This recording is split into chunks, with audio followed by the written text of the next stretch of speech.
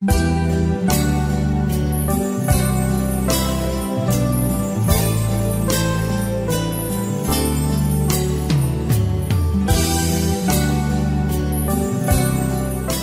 vụ tin và sống Xin kính chào quý vị.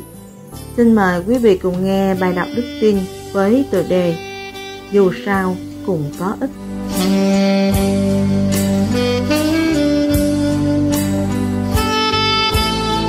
Bệnh viện trung tâm Berlin vừa tiếp nhận một bệnh nhân té gãy xương sườn. Đó là một ông già nghèo khổ thỏi càng trên vỉa hè. Ông không có tiền và dĩ nhiên cũng không có bảo hiểm y tế. Bác sĩ trưởng khoa quyết định tiếp nhận, nhưng y tá trưởng thì phản đối vì như thế là ảnh hưởng ngân sách của bệnh viện. Họ tranh luận so nổi, cuối cùng vị bác sĩ tuyên bố mình chịu trách nhiệm về ca bệnh này.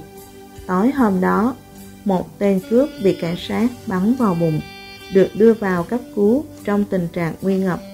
Người thanh niên này mang loại máu AB âm tính rất hiếm.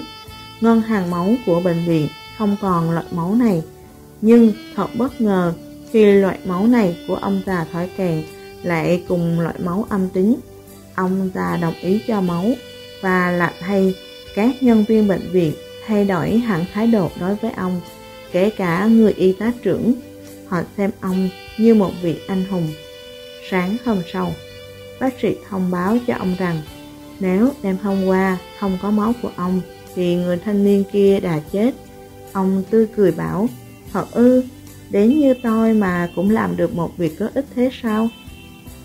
Không ai trong chúng ta là đáng phải bị loại ra dù là một người dốt nát đến mức nào, nghèo khổ đến mức nào, hoặc ở trong thân phận thấp hèn nhất, người ấy vẫn phải được hội thánh tiếp nhận. Chúa cứu thế đến thế gian từ giá trị của mọi con người, dưới ánh sáng của tình yêu Ngài, tấm lòng là quan trọng hơn tất cả những vỏ bọc bên ngoài của trần thế. Chúng ta cũng phải đối xử với mọi người theo cách như vậy.